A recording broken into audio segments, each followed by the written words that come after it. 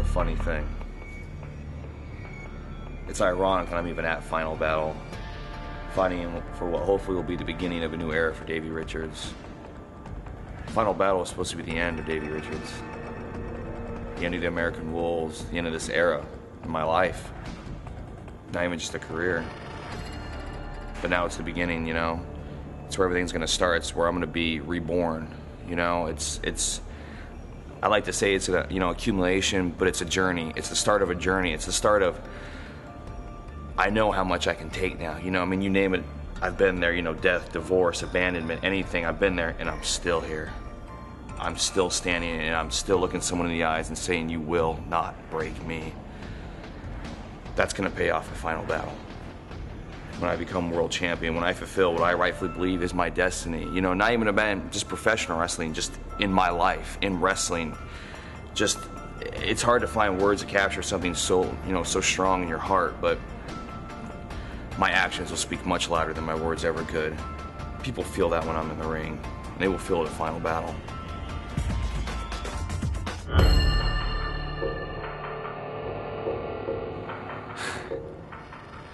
Truth Martini is full of I know it. People out there know it. People in the back know it.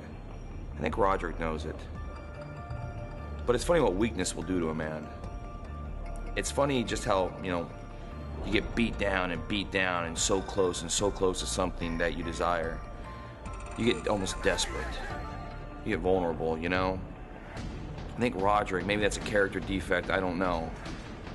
But man, I remember a guy like Roderick, man, we used to run together, and he was down for the fight, you know? He was the first guy to jump in and start throwing fists, you know, he loved it. And somewhere along the way, that's been subdued by this guy, whether it's words, his actions, his propaganda, whatever it is, I don't know. But whatever it is, it's working, and it's a different side of Roderick. But